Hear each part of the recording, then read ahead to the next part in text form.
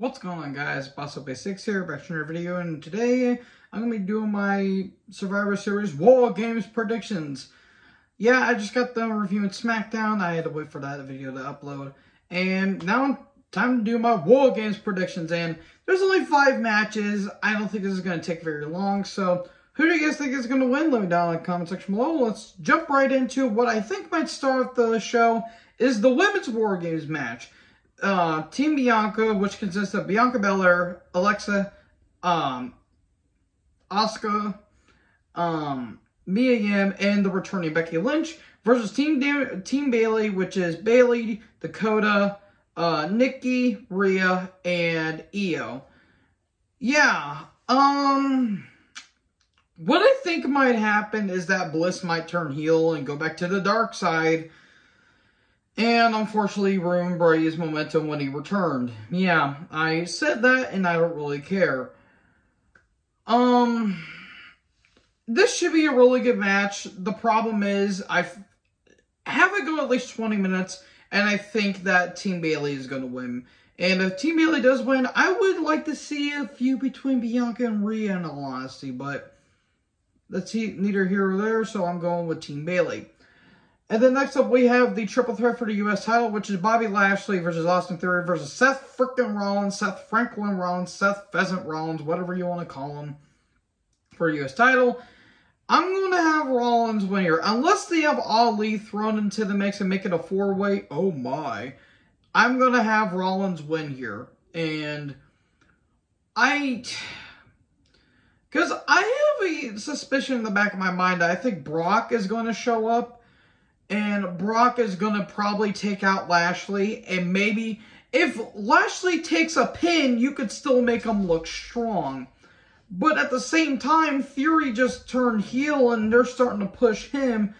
And you don't want to have Rollins lose. So they kind of just booked themselves into a corner. So I think Brock might show up and attack Lashley for what Lashley did to him at Crown Jewel. And you maybe Lashley might take a pin because Lashley taking a pin won't be the worst thing in the world, even though, yeah, he lost the U.S. title he just lost to Brock.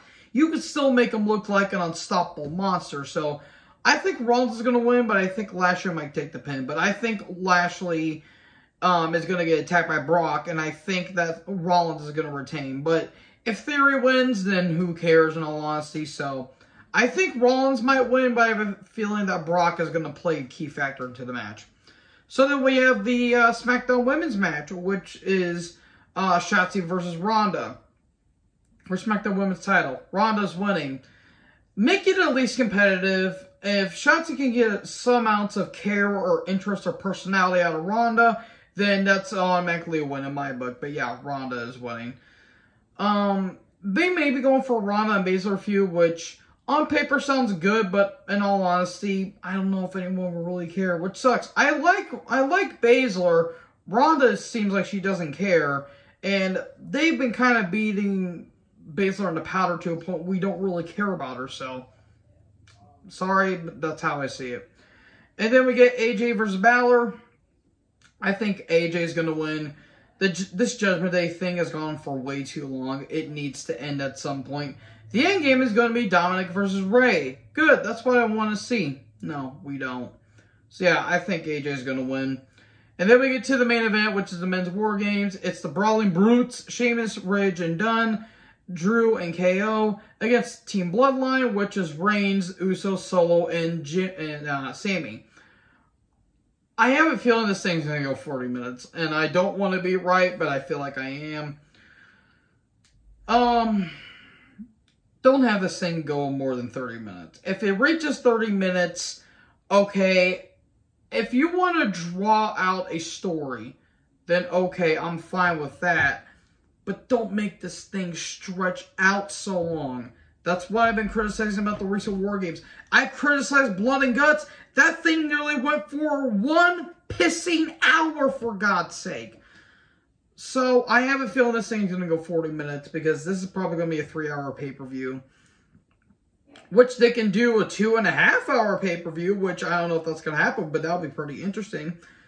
So, since the Brutes are going to get won the advantage. I think they're going to win. I think Sami is going to take the pin. I think KO is going to pin Sami. And that can get you more sympathy for Sami. And then the Bloodline is going to turn on Sami. That's going to lead the KO and Sami win the tag titles eventually. And there you go. Everyone's going to go home. Cake and cake and coffee for everyone. So that's what I think is going to win. I'm most likely going to be wrong on a couple. Well, maybe except for maybe Ronda and Shotzi because that's predictable as hell. So, anyways, those are my predictions. What do you guys think is going to happen at Survivor Series War Games? Let me know in the comment section below. Make sure you guys like, comment, subscribe. Tap the little bell for more notifications. Join her. Like us next video. Peace out.